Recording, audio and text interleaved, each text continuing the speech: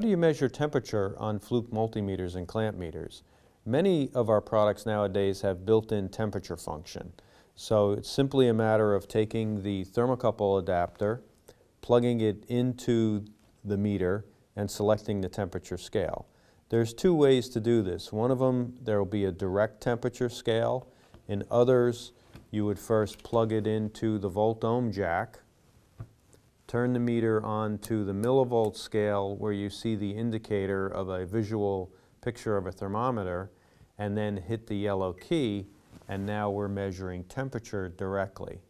To select between Fahrenheit and centigrade, we would hit the range key and we can see it in centigrade or we can see it in Fahrenheit.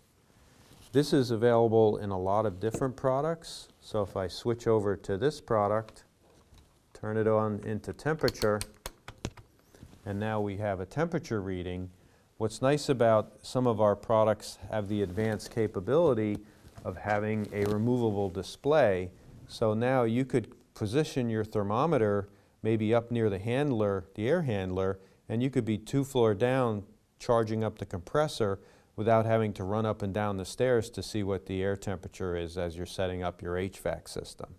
So being able to measure temperature and being able to measure it remotely, we also have products that you can log the temperature over time right in your meter. So this is how you would measure temperature with your Fluke multimeters.